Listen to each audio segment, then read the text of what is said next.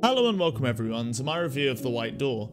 The White Door is a point and click puzzle game developed by Rusty Lake, and while it is part of a larger series or story, it serves as a spin off, so being unfamiliar with the previous game shouldn't hamper your experience too much. I certainly didn't feel like I was missing anything while playing it.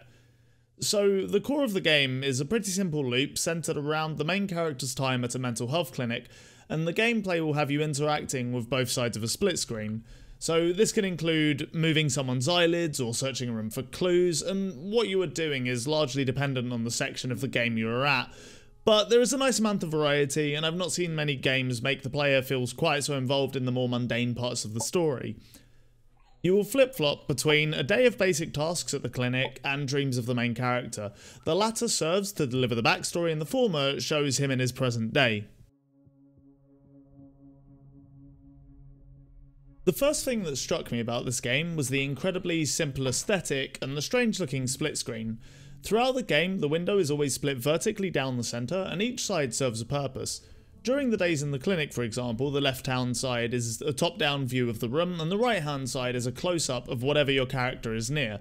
And during the dreams, the left is exclusively for dialogue and the right is just for the visuals.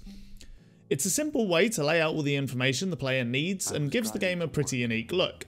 In general, when considering the themes of mental health and depression, the muted, plain look of the game fits very appropriately. In fact, despite liking the aesthetic, I don't think this game looks particularly special. Having said that, with how cheap this game is, I don't mind, especially when considering it's fully voice acted with pretty decent voice acting. I stopped for a red light. A beggar walked up to the car. I rolled down the window. I would actually go as far as to say that a lot of bigger games are kind of put to shame in this regard. I think voice acting in games is almost always overacted and cheesy. In The White Door, it's very low-key and human, reflecting the nature of the themes on display. I also have to mention that the soundtrack fits the game incredibly well. It's a glacially paced, ambient, incredibly somber and smoky soundtrack. All of these points lead me to the conclusion that the team behind this game had a very clear artistic vision for this game. So, from an artistic perspective, I can certainly appreciate a lot of what's going on here, but how does it actually play as a game? Well, as previously stated, it's a point and click puzzle game, and I personally feel like this is where the game falls apart a little.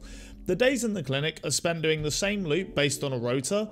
Most of them are basic tasks which take a very short amount of time to complete, and considering the character has pretty severe memory loss, the idea of a routine fits in with this theme, but my personal issue comes with the puzzles. Nearly every puzzle is some variation of go find the thing in the room that has the required information on it, and this gets pretty tedious pretty quickly. I've, it's never too hard, so it isn't a huge negative, but there are other examples of repetitive puzzles or gameplay that I'll get into in the spoiler section of this review. Overall though, the gameplay is just a little bland, it's mostly busy work, just designed for touchscreens. This makes sense because the developers primarily create games for mobile devices, and this doesn't translate so well to PC, but at the same time, I don't think most people who end up liking this game are going to be here for the gameplay, they're going to be here for the story. To give an overview, the main character suffers from memory loss and has suffered some kind of traumatic event. You follow this character picking up bits of his story through his dreams, and without going too heavily in spoilers, I'll say there's a lot of charm to the story, not just in the events, but also how it's presented. The story is kind of intriguing, feels very human, and has just the right amount of oddities and strangeness to keep the player engaged for basically the entire game.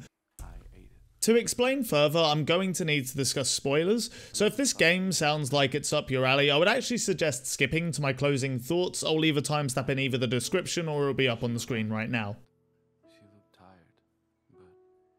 The story of this game is effectively a man going through a couple unfortunate events in his life and admitting himself into a mental health clinic to help himself get better.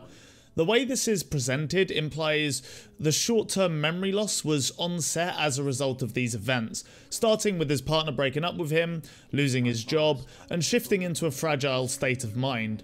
Generally speaking, I think the majority of the story beats are pretty standard but reasonably well presented, specifically the stuff around the midpoint of the game. After about day 3 or 4, things are shown to the audience such as the silhouette of, a main, of the main character that seems to occasionally take over during the clinic sessions, or metaphorical events such as the main character shooting himself in the head, then going to a party in the dream sections. But as previously mentioned, I think the story is the strongest point and the main reason to play this game.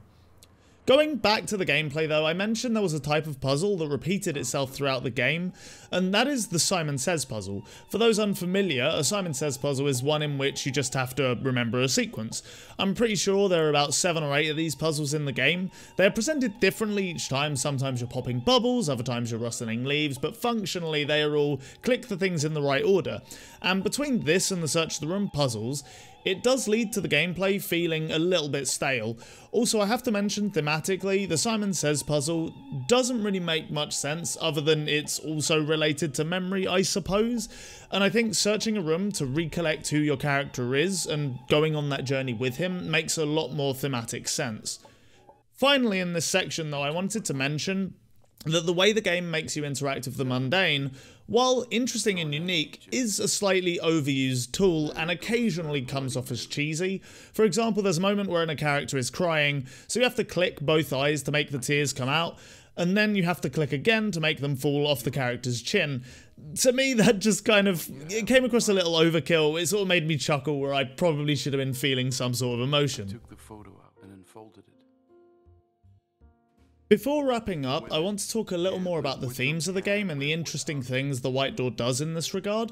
Right from the get-go, it's apparent that the main character is depressed. This is signalled by the room being completely white, and the dreams or flashbacks being presented in colour. People suffering from depression will often say that it makes life incredibly bland and everything becomes dull, colourless and feels somewhat pointless. A game devoid of colour when the main character is in this mental state is a nice visual representation of this. And at the end of the game, when the character gets his memories back, the game goes through a sequence where you perform each task based on the rota set from the clinic, and the colour for that segment of the room returns. This is a nice visual representation of his mind state improving. During this segment, he also confronts his silhouette form, which to me implies he's made peace with his struggles and accepted all aspects of himself. I also think as this game goes on, less of it is meant to be taken literally. For example, in day 1's dream, he gets broken up with, but on day 4's dream, he shoots himself in the head and attends a party with a literal hole in his head. I think most of these can be taken as dark thoughts. Where the game gets incredibly strange though is in the alternative ending. If you complete the game you're rewarded with a flashback to how he met his partner. In addition, the hidden star levels will earn you an alternate ending that implies the mental health clinic removed her from your character's memory.